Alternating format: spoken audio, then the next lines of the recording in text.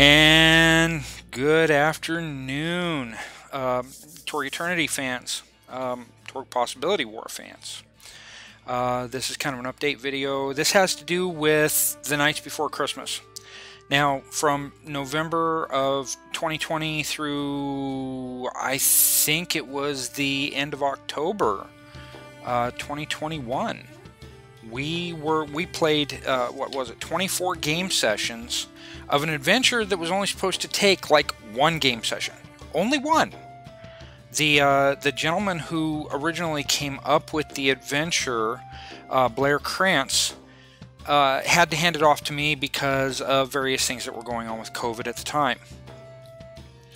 And uh, uh, because of COVID 19, they lost a lot of people uh, at his work, and he had to he had to make up for a lot of what was going on, or you know, the loss of all those people. The goal of this video is to tell you why I am not processing the Knights Before Christmas like I uh, processed uh, like I process all of the rest of the videos. Um, number one, a general overview of Knights Before Christmas. The idea is um, uh, wizards, uh, alteration, conjuration, um, uh, uh, divination, and apportation uh, at the the College of Magic, the Magic Tower in Oxford, England, are kidnapped. They disappear. They just go somewhere. How did our knights get involved in this? Uh, there was a plane crash that was caused by a Draconis Metallica um, over the ocean while they were in that airspace uh, over over Britain which of course has been taken over mainly by Aysle, the uh, the realm of Aysle. So Draconis Metallica causes a plane crash, and then it comes to roost on top of the jet. Um, uh, and of course, they're they're they're pretty heavy animals. Um, so you know there wasn't going to be much they could do to get that animal off of there. Well, they tried uh, they tried military solutions and they tried uh, negotiation solutions and everything like that. I don't know how many negotiators got eaten. I didn't figure that out. Um, but in essence, after about um, after about 24 hours, after everybody on the air, almost everybody on the aircraft was saved um, uh, and shipped off to London, the Draconis Metallica uh, left. It just left. Okay, so the uh, the military there were trying to rescue things from the belly of the aircraft, get the black box out of it, uh, things like that. Get get our Storm Knights gear, but our Storm Knights were without their gear. Okay, and that that's how Blair set it up before he had to to to take a powder. Now again, this entire thing was supposed to last like four hours okay? And and the idea was overall to rescue santa claus okay? The four wizards turned out to be four different aspects of santa claus hiding away from Angar Uthorion and from the gaunt man. Uh, and the best way that they could do that was through magic because of course santa claus is who Santa Claus is made of magic. Everything that he does, it can be done by magic. Okay. Um, for those of you who don't believe in magic, it can be it, it, could be technology that is so far advanced that it looks like magic to everybody else. Doesn't matter. Okay, same uh, same outcome. Okay, so our, our, our player heroes wound up uh, going around uh, uh, various parts of England. There there was a large track uh, that I'll be presenting eventually uh, to to show you guys what the travel was like uh, to get around and do these things. Uh, but I am we like I said we had 24 game sessions which produced 63 hours worth of footage for what I estimated would be about 58 one hour sessions okay, or one hour videos, okay, because I'm trying to keep our videos on this channel to an hour or less. Uh, some of them have gone over an hour, uh, but I think it's only like two of the videos that I posted so far. So what I'm trying to do is take game sessions in their entirety and I'll break them up into three chunks because we usually only play about three hours uh, on any given night. Uh, and, and that was true uh, during Knights Before Christmas because we switched over from Saturday nights to Sunday nights because of scheduling and everything like that. If if you're a game master and and you have ever had to schedule your gaming around your players, you know exactly what I'm talking about. All right. Okay, so um, I also don't really want to produce all of go through and produce sessions based on the 63 hours or almost 63 hours of recordings um, because I was still very much learning how to use OBS Studio. I'm still learning how to use it. Uh, Shotcut, still learning how to use that to, to get the videos out. Um, so during that time, uh, the the uh, Roll 20, I think we started the game on Roll 20, and then we carried it over to Foundry VTT uh, and there were tech issues out the yang with that. Uh, whether it was my internet, and, and I'm blaming myself first here, I'm going to take into account everything that I may have done, whether it was crappy internet or it was a, a 15 year old game system or 16 years old uh, uh, computer system that I had at the time to work with, or whether it was stuff that was coming off of this laptop that I'm recording on now. Um, there were a lot of tech issues, a lot of, of, of image problems, uh, a lot of music problems, a lot of, you know, just all kinds of stuff like that. Well, I, find, I finally feel like I'm at a point now where I can kind of take all of that and, and make it sing a little bit better than I used to. So, um, that's how the tech issues affected it. Affected it. Um, also, we have a pretty massive backlog. We have two complete adventures for Torg that have not been edited yet. Now, I just finished editing and uploading the final three videos for uh, Theft of the Moon for the One Ring to to my channel, um, to our channel. Um, and I'm getting ready to start on Curse of the Gae Bolga probably Monday. So the, today is Tuesday, so in six days. Okay, I'll start editing Curse of the Gae Bolga. Fortunately, I get to start out with two uh, episodes instead of three. Uh, that'll make things a little bit easier because I really am trying to get caught up on stuff. Uh, so yeah, there's a backlog of videos, a pretty good sized one, uh, and the time it takes to edit is is larger than than than you might think. Now I don't know if it's just me not having the the proper skills to edit things quickly, or if it's a matter of my my friends, God bless you all, uh, chewing chips uh, while microphones are active, or drinking. Ugh, that's the worst sound in the world is somebody drinking over a microphone. Um, uh, or whether it's uh, people talking over one another so much that it's hard to discern what's going on. It's hard to separate it. Even if I get control of the table, um, eh, you know, whatever it was, all of that stuff has to be caught out um, uh, or cut out, cataloged. Uh, I have to determine you know what parts of a video need to be cut out or what parts of a video need to be saved and then the audio just needs to be cut out or or muted or whatever. Um, I have to, go through and determine all of that stuff. So even with our our most recent several months of videos now, Okay, so probably since the beginning of 2022.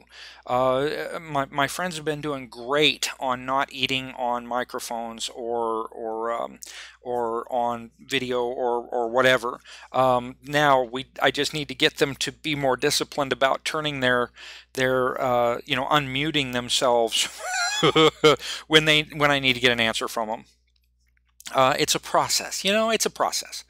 Um, so anyway, when we started with the audio stuff back in 2020, um, uh, when when we finally decided, I think it was in April or May of that year, that we were going to to actually record our videos and stuff like that, I had to start with the audio because we had thought originally to go ahead and do the um, uh, the the video or the audio as like a podcast. Okay, and I'm not sure it would have been any better than it is now. At least you get to see something now.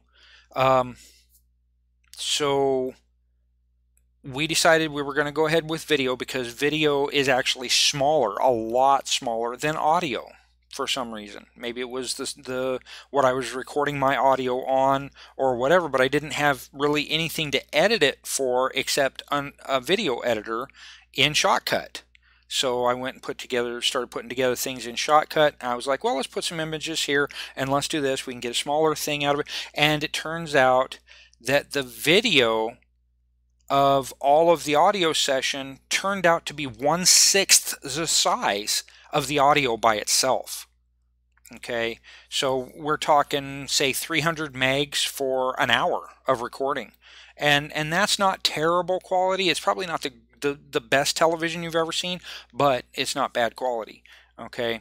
Uh, anyway, working our way from all of this, all this new program stuff, uh, all these new utilities out there up till now, um, I hope you've been able to see all of the improvements and whatnot that go with it, but with the improvements come different ways of working. Okay, and some of those ways of working take more take longer than old ways of working um, until I can at least find something to to get all of that down. So any swear words that I have to cut out, uh, any uh, you know, any uh, bad descriptions, any argument, unnecessary arguments, any uh, any unnecessary dice rolls, things like that. I have to go in and cut all of that out. Now, whether it's just muting or cutting the whole, a whole section of the video and audio out, that's I'm I'm good with that now.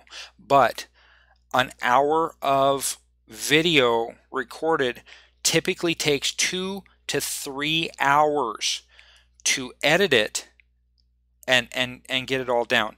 Uh, yesterday, I, I, told you I did um, uh, Theft of the Moon.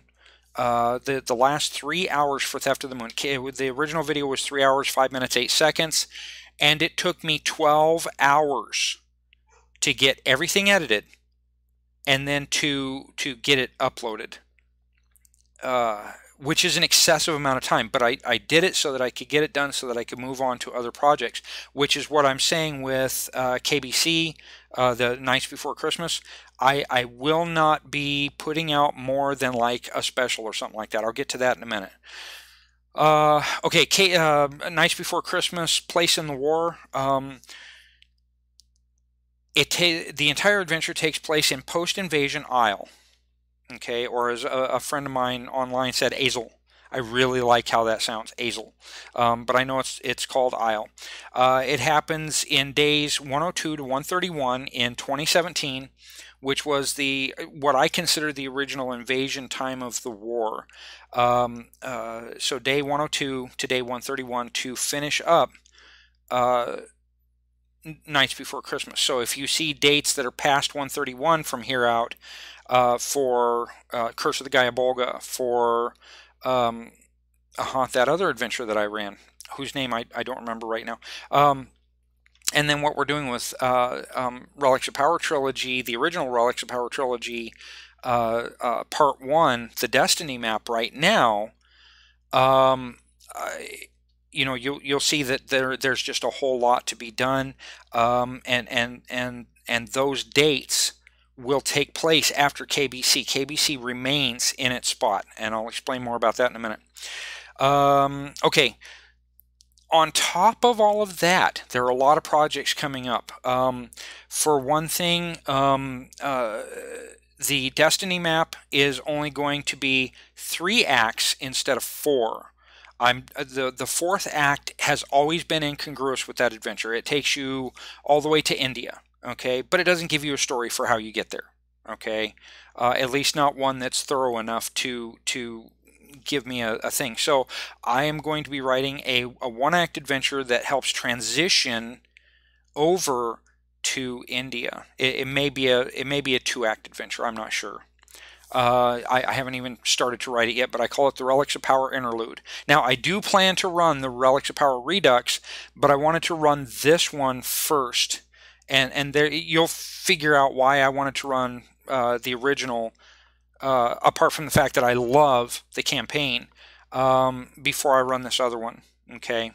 Uh, now, look, Ulisses Spiele's folks did a bang up job rewriting uh, Relics of Power Redux. I, I definitely want to run it, but I also know that except for a little touch and go here, it is completely separated from the original Relics of Power. It, it, it is Relics of Power in name only. Okay, uh, It's got a similar premise, but the specific actions and stuff are completely different. Okay, so I will be running that, but it's going to be down the road. Um, okay, there's that. Um, I've got to build the new Storm Knight journals for our current group. Uh, I was going to do it post Foundry version 10 release, but um, I I think I'd better just go ahead and get it done and then deal with whatever fallout comes after version 10 is actually released. It's supposed to release tomorrow. I don't think it's going to release tomorrow uh, nor do I think it should be until everything is worked out. Uh, in the in in the interface. Okay, uh, I need to shoot an actual introduction and update video for our my YouTube channel, uh, role playing in the Wolf's Den. Uh, let's see, I've still got to program all kinds of items and effects from the various books. I am I am still back on Delphi Missions Rising Storm. I'm like 12 pages from the end of that, but I've got all of these other books that I want to get, source books and everything like that, and I want to get them programmed in there myself because I'm very, very, very picky about how I do things. Anyway, I need to rebuild the journal uh, coding system that I have. Uh, I want to make it simpler for my players so that all of them can can mark down all of their stuff and have a secret area to put stuff that they want to keep secret for their characters.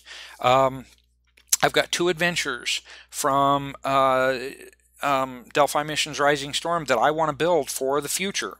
Okay, I'm not going to tell you what they are. Um, let's see. I I need to figure out how to live stream. Okay. Um, I'm sure it's probably super super easy, but this is me we're talking about. Okay. Um, uh, my Realm Runners at Large team, the ones that uh, that I wrote before the Dawn uh, after, the, the novel that is on the Infiniverse Exchange, um, I am going to be writing a second novel and I need to get all of their stuff put onto their own instance of Torg Eternity okay? So that I can run them individually so that I can I can sit there and, and write stuff. I got a secret for you. I'm actually playing through these dice rolls and everything okay?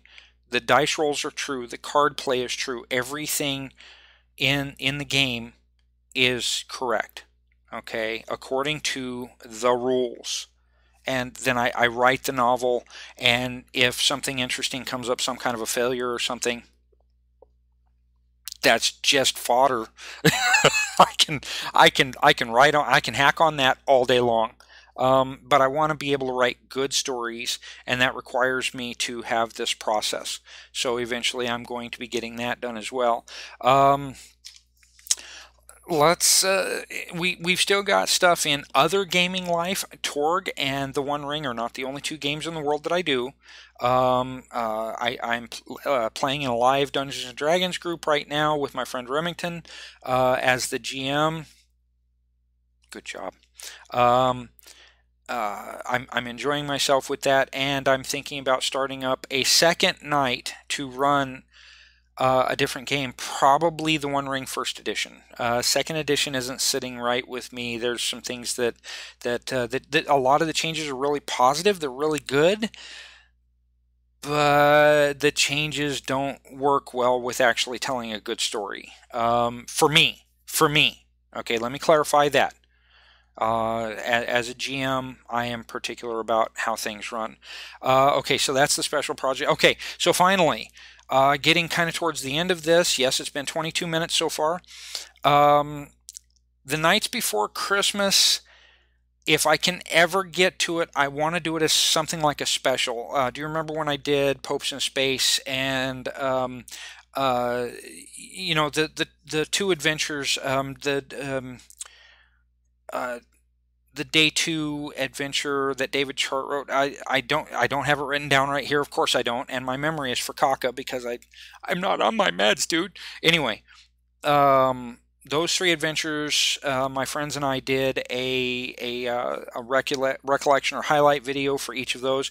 I want to do two one-hour highlight videos if I can, if I can, and I'm going to go through and I'm going to do you know I'm going to find highlights for for all six from all 63 hours and compress it down to two.